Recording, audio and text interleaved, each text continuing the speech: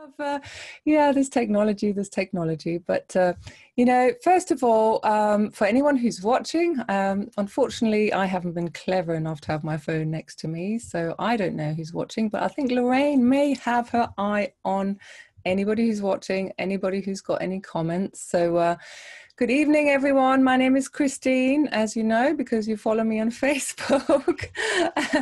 and uh, I'm so excited to be here live on my Facebook um, for the first time um, with Lorraine Western, who is going to talk to us this evening about what she does. Uh, she's actually helps she helps people who are struggling uh, in their careers, who maybe want to leave what they do now but are not sure about how to move into a different job or whether they want to go self-employed or not. And she sort of helps them kind of i suppose look at what skills they already have and how to transfer those into something else so obviously lorraine correct me if I am wrong, but I am so excited to have you here this evening and to discuss this. And I think we're going to have a lot of fun. And I think it's going to be really helpful for so many people out there because of everything that, you know, we're all going through at the moment. There's going to be obviously a lot of people who are going to have to rethink their careers and their life and everything.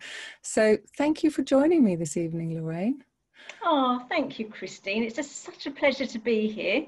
And I'm very impressed with your technology skills, getting us up and running on Facebook. So uh, well done for that. And thank you so much for having me. It really is an honour. So I'm really pleased to join you and join your, your lovely group. So uh, it's a real pleasure. And um, just to really say a little bit about my background, I'm an occupational therapist. So my name is Lorraine Western. Um, I trained as an occupational therapist um, and worked in conventional roles, but then I've had a very diverse career. And I'll probably tell you a bit more about some of the things I've done as we go through. Mm. Um, but one of the things that has struck me in um, working with healthcare professionals and, and others is that it's really easy to feel a bit stuck. So if you're feeling at the moment that you feel stuck in your career and you're not sure what else you could do with your skills. You know, maybe particularly if you've been in one sector for a while or you trained for a particular role, you know, just first of all, I just want you to know that actually you do have more options than you're probably aware of. Um, and you do have control over more than you think. And I just think that at the moment that's so important because so many aspects of control feel like they've been taken away from us. Um, mm-hmm. you know, we haven't got a lot of control over how we work, how we shop. You know, we might have planned holidays and they've come to nothing. You know, I've known friends who've had weddings cancelled and so on. And then, of course, you know, a lot of people have been really impacted in terms of health or health of loved ones. Mm. So, you know, when you feel like you've lost a lot of those areas of control in general life, then feeling like you're stuck maybe in a job that's really not working for you and impacting your home life can be you know a real challenge and you know just sucks your energy, sucks your joy. Um, so the first thing I just wanted to start off with really is, you know, you really do have options, and I hope that you know by the end of our time together, you'll just have a few simple ideas of things that you could maybe start with straight away. Oh, that's lovely, Lorraine. That's lovely. Because I think, you know, that is one of the things, isn't it? When you feel really stuck, you just feel like you don't have a choice, don't you? And, uh, you know, for you to be here this evening and to actually um, help people see that there are, you know, choices and there are different directions that they can take, I think is just brilliant. So thank you. So, what would be some things that, you know, you, you would say to people? Um, in this sort of instance, so if somebody felt really stuck, or maybe they are unsure as to whether they can even keep their job, you know, mm. uh, because there is all that uncertainty as well at the moment, isn't there? What would you, mm. what would be the first thing that, you know, somebody like that, what, what, would, what would you say to them to help them um, understand they have these options, I guess? Yeah. And, and obviously, I do recognise that in some sectors in particular, it could feel really challenging. So, if your job is under threat and you know that there you know, are widespread cutbacks in your sector, then the first thing is your anxiety level is going to, you know, to rise. You know, especially you know you have commitments, um, and there's that fear. You know, well, what am I going to do? Where am I going to get a job? Um, and I think you know it's just sort of recognizing the value of transferable skills. Mm. So knowing that you know you might have worked in one area, so in the area I work in healthcare, in, in, healthcare, you know, people tend to train for a particular role. So I trained as an occupational therapist. Some of my clients have trained as physios or nurses. So obviously these aren't sectors that are so much in, impacted by jobs just disappearing, but they are impacted by changes in role or people no longer feeling that that job is sustainable for them. And it can be um, difficult when you're very close to your skills to recognize how valuable they are. Yeah. So, you know, it's just really being able to maybe, you know, step back and either take some time for yourself to really think about all the different things that you've done. Mm. Um, so just recognizing you have those skills. And um, there's an exercise that um, I find is very often helpful actually, and that's thinking about your your career timeline and all the skills that you've used, and in particular thinking about what you've loved to do.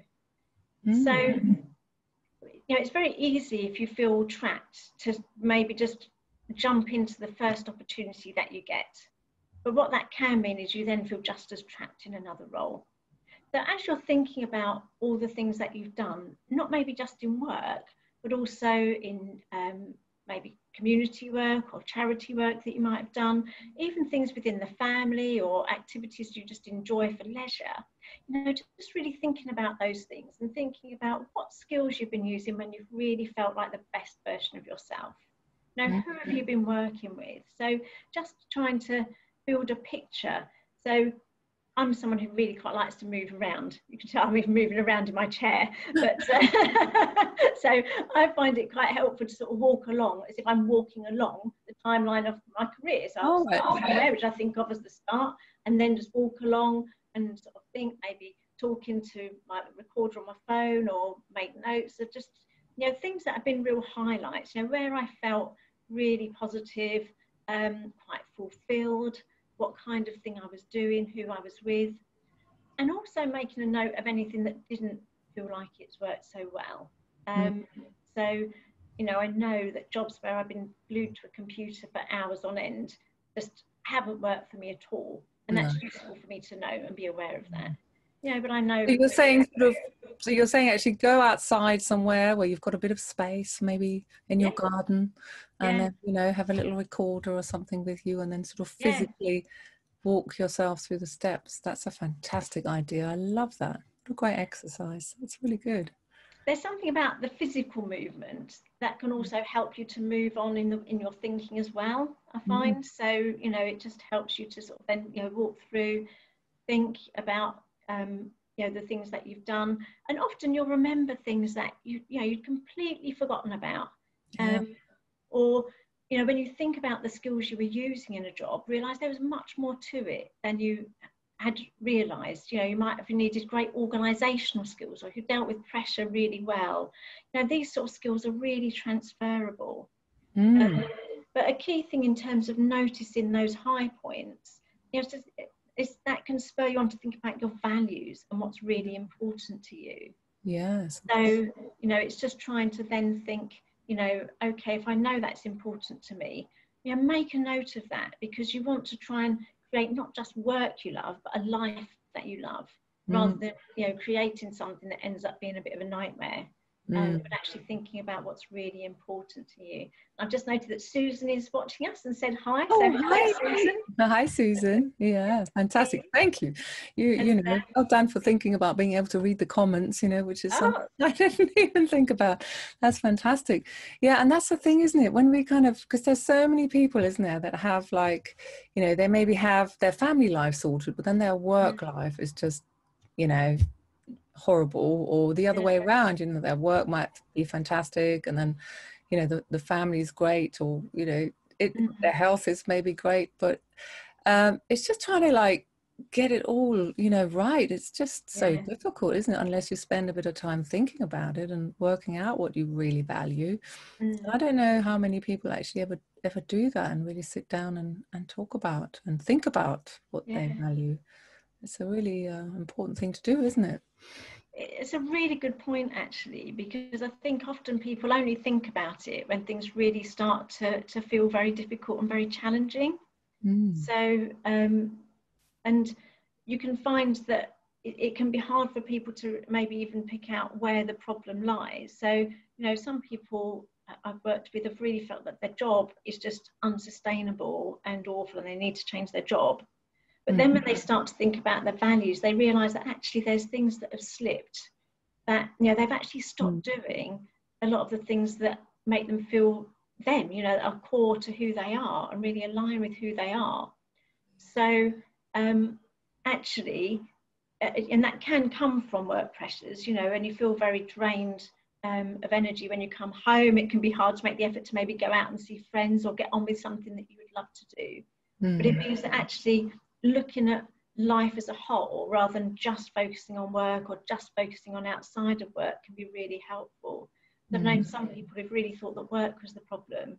And actually, when they started um, reconnecting with some of the things they'd used to enjoy, but have just got squeezed out, maybe the busyness of life or changes that have happened, they suddenly realised actually they then had the energy and quite enjoyed the stimulation of the work. You know, oh. very overwhelmingly stressful, coming yeah. at it from a better, better place. Actually, all of a sudden, it felt a bit more manageable. Yeah. So it is that holistic perspective which can really make a difference. So what you do really, so what you do really is about, uh, you know, sort of looking at your whole life, every aspect of it, and not just a career, but every single part of it. So mm-hmm. it's almost like a chance to really pick your life apart and and and just working out what's really going on beneath the surface. Mm-hmm. Is it? Yes, you know, thinking about what's important and not losing sight of that as you look at that bigger picture.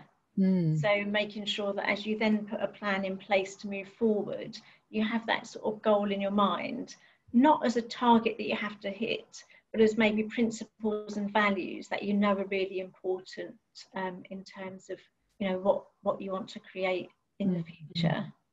And do you think it makes it easier when you do that? Do you think it makes it then also easier to make decisions in life, you know, and to actually decide what, you know, what is right and what's wrong for you? I guess when you when you have those things in place.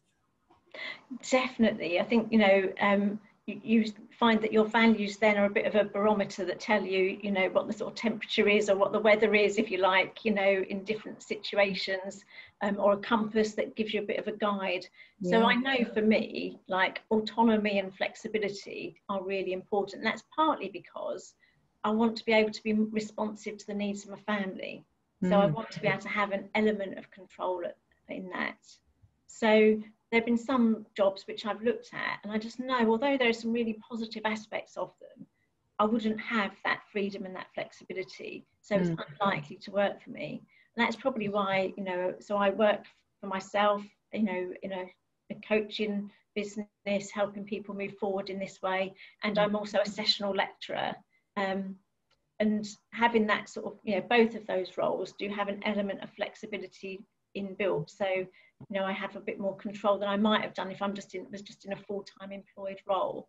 Mm. And that's intentional because I know when I'm not honouring those values, I feel trapped, I feel stifled, I feel like I don't have the opportunity to do the things that are important to me.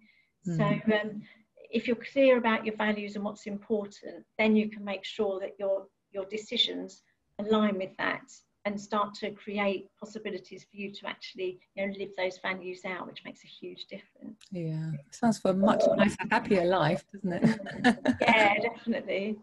Definitely. Yeah. So is there anything else that you want to sort of add to that whole whole mix um, at all that i can? Yeah um yeah so so basically if once you have an idea of your your values um you know that it's important to find a way of expressing that you know whether you write it down as a sort of statement whether you draw it mind map it. I'm very much a mind map person myself so my, my colored pens and things mm-hmm. but you know to capture those values so that you've got that um, and and make sure that you know you're living aligned with that. Um, but the other thing is to really think you know so it's not always possible to make a change straight away. Sometimes it's a, a plan. So um, there was a particular point in my career where I actually had a five year plan. Mm, so it wasn't wow. something which was overnight at all. Um, so I'd gone from working as an occupational therapist in the NHS mm-hmm. to training as a sports massage therapist with an idea of having my own business. So I'd have a bit more flexibility. Um, and then it was announced that we were getting the Olympics in this country. And I just knew that I really wanted to go for being a massage therapist at the Olympics. Oh, so wow. we had about five years' notice to um, prepare for that. Um, so I did all the research, thinking, you know, what could I, you know, what would I need to do most likely? So, you know, I really threw everything at it. So I did a master's degree, I did retrained in my sports massage, and then I knew I had to try and find some elite experience. So again, put a plan in place. I was at that time working at a really low level of non-league football. Mm. I remember being interviewed by the um, secretary there for the um, magazine. He said, oh, yeah, what's your ambition? I said, well, actually, I'd really love to work at the Olympics. And this was working in, you know, say, county league football. And he, he literally laughed at me. Oh, wow. Um, but then I, worked, you know, got a job through treating well the players that were there that progressed to a slightly higher team, still non-league, I went there. And then at a networking event, I spoke to the chair of Sussex County Cricket and managed to get introduced to the physio there so I could get some elite experience. So I was basically trying to put together all the pieces of the jigsaw that would give me the best opportunity of being successful of getting to the Olympics. Wow. Say this was a five year plan, so it was not something that happened overnight and uh, and then I applied, and then I put myself forward for every test event they had going. So if you looked at the cost, it must have cost me so much in terms of my travel, in terms of lost income, and all my training. But you know, when the Olympics came, I was working in the um, aquatic centre as part of the medical team there, and I worked at the Paralympics with the goalball and so on. Um, and the, the absolute irony of this is I was absolutely the worst girl in my school at sport. literally, I was the slowest, the, the, most uncoordinated. So, if anyone from my secondary school ever knew that I had gone to, and had this career in, in working in sport, they'd have actually thought that was hilarious. but, uh, but, you know, but the important thing, you know, is you know to a know that you can do you know you can be very intentional in putting a long-term plan in place mm-hmm. but also that's important to enjoy the journey. You know if i'd spent five years having the worst time and doing all those things through gritted teeth then it wouldn't have been worth it. No. I might not have got to the olympics but at least i would have known that i'd you know i was so much better at what i did for giving it a go. So and and i'd enjoyed that journey. Yeah. So it's really you know in, it, so it's a matter of thinking, you know, it might not be possible to get your dream job tomorrow, but you know, you can put a plan in place and think about what resources you already have, mm-hmm. what resources you could put in place, you know, do your research, find out about the job role that you would really enjoy. Um, you know, what are the skills, what the knowledge, what the experience that you need? How can you get that? How can you do that maybe alongside something that's bringing in the money that you need? Um, and to really invest in and enjoy that that personal development and that growth process because you know that's so important as well. Yeah. So um that's amazing. I mean you must have felt so amazing when you were there after that five year plan you know came into being and you were there doing your thing. You yeah. must have just felt so good. Wow.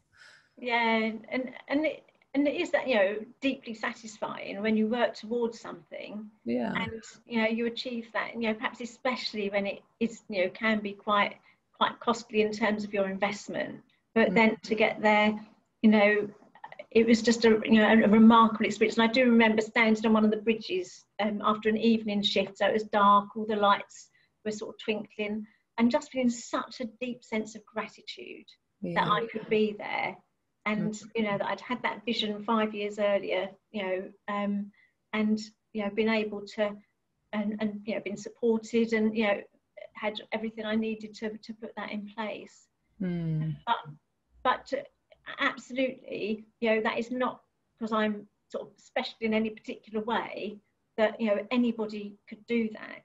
You know, so it's you you can think you know if there's something that you know you really would love to do mm-hmm. and you know take the time you know research it you know think about what skills you already have think about what skills you might need um, think about your network and how you can grow your network to include people that can help you on your journey and be mm. bold and ask for help. So, you know, there's lots of different things you can do to increase your chance of getting there. And, you know, and be prepared to, to enjoy each step of the way rather than just having it as that goal that you just are desperate to reach, but more, yeah. you know, a, a, path to enjoy. Fantastic.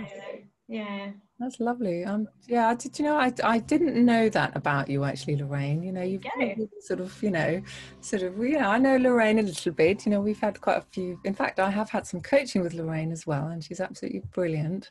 So uh, she's a, she's a great. And there was one session we had together not so long ago where I had a real aha moment, you know, and uh, and so she is a wonderful coach and really great at helping you sort of reframe things for yourself or you know seeing between the lines and sometimes you know having those aha moments they're really important aren't they? You know mm. they sort of oh, i get it now. That's yeah. where i'm stuck. Yeah very important. Yeah. So um yeah so you know i mean all this advice is just so useful you know i think it's fantastic and I hope that uh, anyone who's listening, have we got any viewers there at the moment? Is Susan still there or has she disappeared? Six people are oh, with us. Got six and, people. And um, Susan's, I think, still there. Yeah. So uh, thanks so, very much. I appreciate yes. You. So and hello everyone who's watching. Uh, yeah. Uh, fortunately, I, as I said earlier, I haven't been, uh, you know, that great at um, working out how to see the comments at the same time because this is all new to me doing it through Zoom. So, you know, if anyone has any questions for Lorraine, um, you know, please feel free to comment. Um, if and a hi from Linda as well. So oh, hello, Linda. Linda. So hi, thank Linda. you very much for contributing yeah. there. Yeah, because you know, or even if you have any questions later. Um, mm. In fact, um, there was something that you wanted to share with people as well, wasn't there? There was, you, you know, you Absolutely, have little little yeah. tool people can use um, mm. that, that, you can download and uh, help you. Maybe you can explain it better than me. Uh, so um, when we've finished, I'm just going to put a link in the comments to an online journal. So it's just really, you know, a place where you can start to think perhaps about some of these things, your values, think about your strengths, you know, those qualities that you know you're at your best when you're, you're using. Um, and you can download it, save it to your PC, and then it's, um, you can fit it in as a form fillable PDF. I'm not sure that the form fillable aspect works so well on mobile, but it definitely works if you download it onto your computer. So mm. it's just really an opportunity for you to um, you know take that time give yourself that gift of time mm. to reflect yeah. and you know one thing i would say you know if you're finding things difficult now but at the moment you just you know feel there's so much going on that you know you maybe feel it doesn't feel like the right time for you to make a, a big change you know but just start even just starting that process of you know thinking about the direction you'd like to head in can be really helpful. You know, say, you know, to, for me to make really quite a dramatic change and achieve a, a significant goal for me took five years. So it's not to say that if you're feeling unhappy now, you have to make the change right away. Mm-hmm. You know, mm-hmm. but just having a sense of direction can make all the difference. Yeah. And actually, do you know, Lorraine, I think it makes life so much more exciting to be sort of almost heading somewhere, you know, doesn't it? Yeah. It really does, you know, because it just feels like you're not stuck anymore, doesn't it? It feels like you're, you know, on a journey towards somewhere, you know, yeah. somewhere exciting. Yeah. And it, it does, it makes sense. And you start to feel like you have more control, you mm. know, because you're putting a plan in place. Yeah. And the other thing that that gives you the opportunity to do then as well is to think, you know, what can you be grateful for in your life now that actually is helping you towards that goal? Mm. So there mm. might be aspects of your job that you really don't like or you're struggling with, or you know things that you're juggling outside of work, especially at the moment.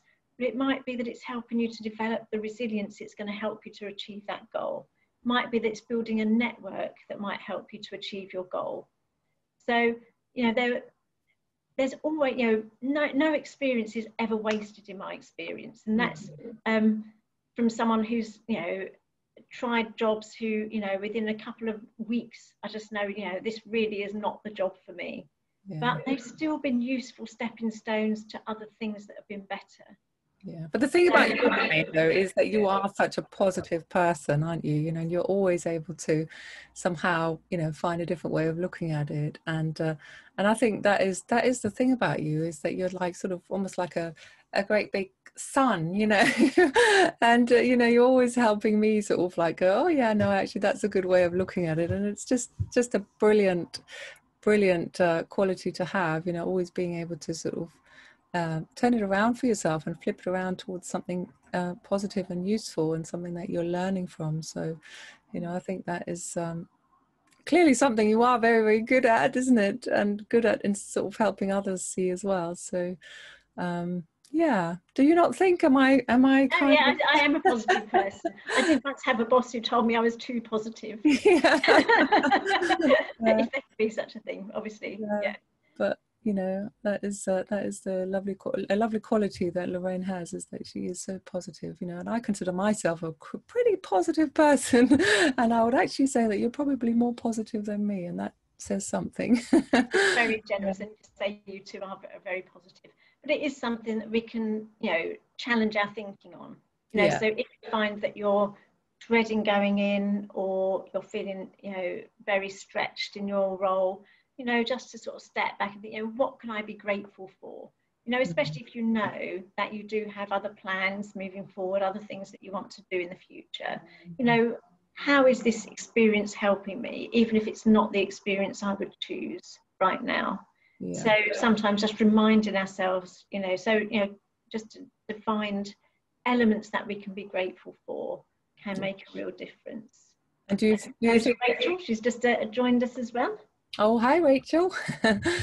uh, so, do you think it's a good idea to write all those things down as well? You know, those things we are grateful for? Because I always feel like, you know, when things are on paper, they're just yeah. so much more solid. And, uh, uh, you know, I've I've got like a little gratitude journal. Mm. Uh, where is it? Somewhere there. And I actually get so excited every morning to be, you know, running. I run over to my desk, you know, as soon as I've had my breakfast, and then I write all my little things down. And you know, and the more you do it, I think the more there is to be grateful for really and the more exciting little things there are that you want to put in there that you know you're excited about because they happen yeah, absolutely and if you know you're going to write them down you're looking out for them exactly that's the other thing so you pay selective attention to the things you're grateful for which is yeah. you know another real positive from that. Mm. and you know that's one thing you know with the online journal you know you might want to you know just record in there the things you're grateful for. Yeah. And you might even end up from you know going from being stuck in your job to actually loving your job again as well do you think? I, I have had that actually occasionally with clients who have really not you know not enjoyed their job. Um, but really it was external pressures that were draining their resilience in their work. And once they mm-hmm. addressed those things and maybe looked afresh at their values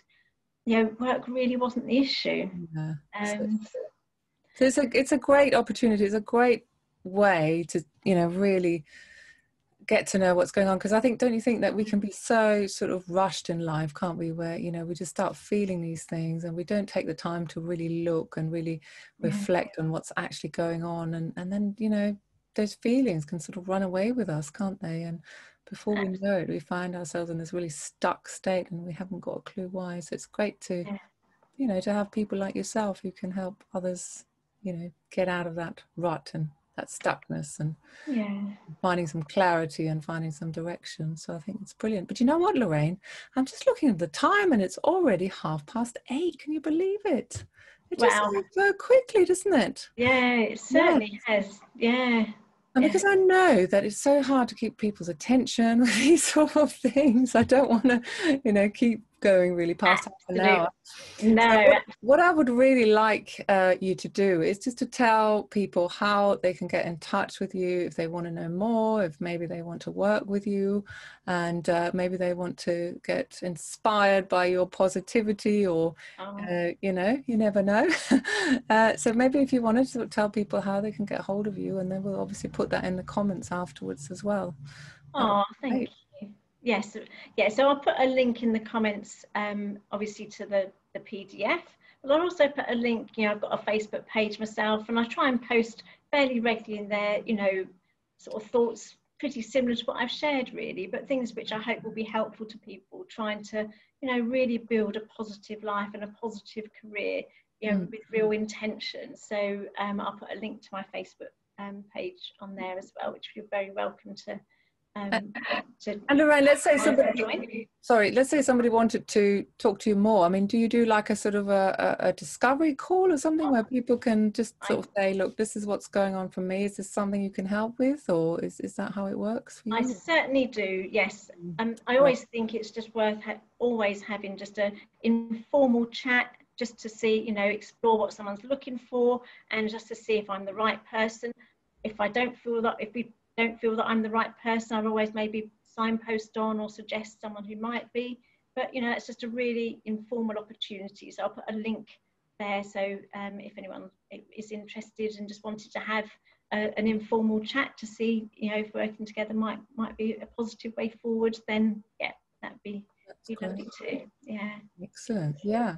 So yeah, so I hope you've all enjoyed this chat. You know, I certainly have. I've loved talking to the to Lorraine this evening, and um, what I'll do is I will. Uh, it's it's I've recorded it, so I'll be able to upload it to uh, to Facebook afterwards, I guess, and. Um, in other places. So if you want to catch the replay, if you haven't watched the whole thing, then you can do that. So just for now, I'm going to say, uh, yeah, well, we're going to say goodbye, aren't we, Lorraine? And oh, thank you so much. It's been such a pleasure. Yeah, yeah. This is the first sort of thing like this I've done, and I just didn't realise it was be so so fun and so relaxed. So you're an absolute star. Thank you. Well, it's been it's been yeah, it's been great fun. I just can't believe how quickly the time always flies when I do this. You know, it's just so much fun. So thank you so much for uh, coming, Lorraine. It's been such a pleasure talking to you.